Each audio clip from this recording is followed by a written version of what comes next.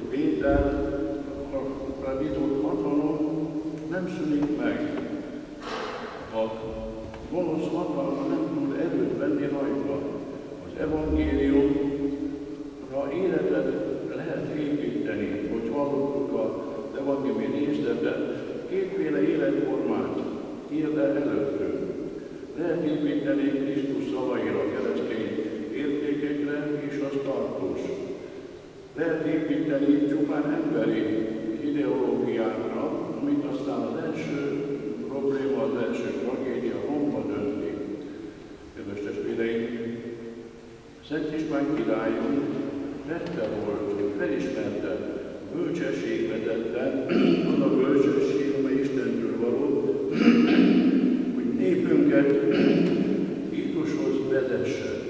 Hiszen amikor ideérkeztünk a Kárpát medencében, amit tőlünk népek nem jó szemmel nézték, néztek bennünket más kultúrák, más a nyelvünk. És Szent István jó diplomata volt, megtalálta a múltot. Megtalálta, és az országban lévő kopványal és a pogánykodó társaival szemben is próbált békés úton egyezkedni, de nem jutott eredményre. És ő azt a részt választotta, ami a megmaradásunknak az eredménye volt. És amikor második Szilveszter pápa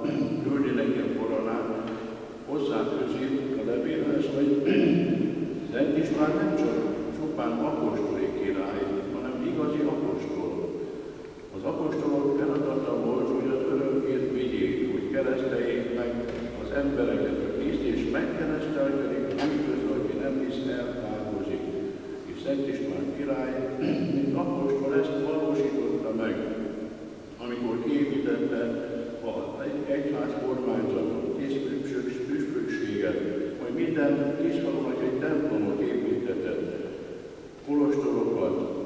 beengedte a külföldi alkalmak keret, és őt a nyugati misszionáriusokat is, akik az örömkért hirdették számunkra.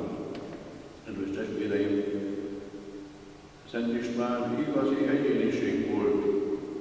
Voltak életében gondok, problémák, de nem kesergett. Nem kesergett, hanem hordozta azt a keresztet, amit Isten rám bizott a felelősség a vezetőnek a keresztjét. És amikor egyetlen miány Imrét is elveszítette, akkor se tört össze, nem esett depresszióba, hanem oda fordult Máriához, aki Jézus ránk bízott, Szent János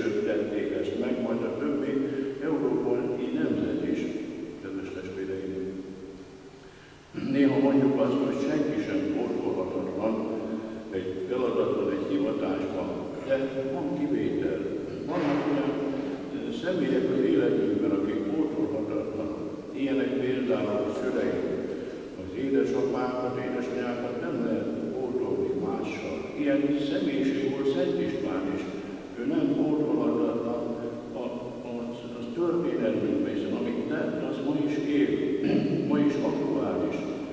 Az élet a példája, ezért fontos számunkra is, hogy nem mindegy, hogy hogyan élünk, milyen példát adunk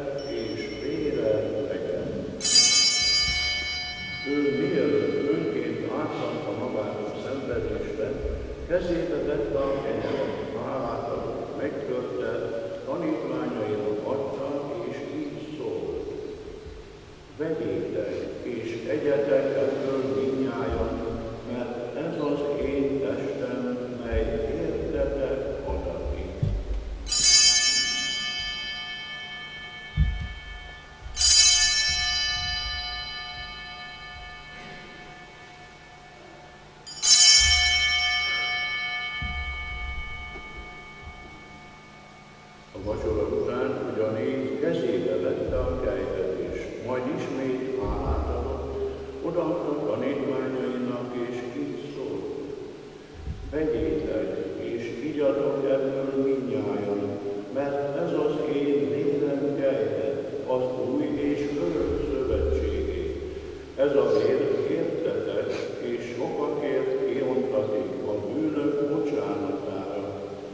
cselekedjétek az én emlékezetemre.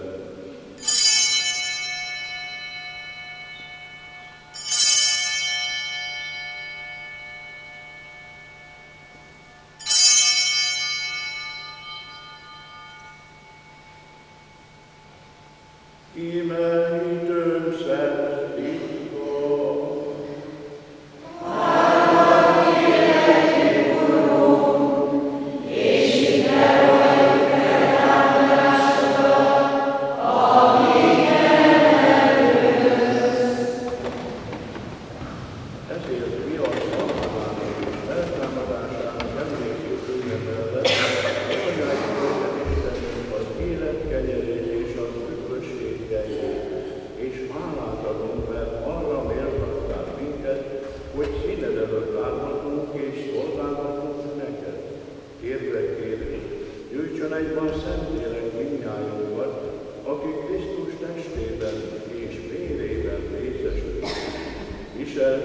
Istenen, Urunk, egyházat sorsát az egész világon. Tedd tökéletessé a szeretetet, Ferenc pápánkkal, Gyula püspökökkel, és az egész papsággal együtt. Emlékezzél meg a feltámadás reményében elbújt testvéreikről, és mindazokról, akik irgalmatlan bízva távolodtak a világból, bocsájt őket szent színek látására. Könyörű kérünk minnyájunkon, hogy Isten anyjával, a boldogságos Szűz Máriával, Szent Józseffel az ő egyesével, a Szent Apostolokkal, Szent István királya és minden szentel együtt, akik a világ kezdete óta kedvesek voltak előtted, részesei